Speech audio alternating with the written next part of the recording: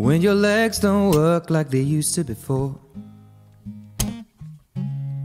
And I can't sweep you off of your feet.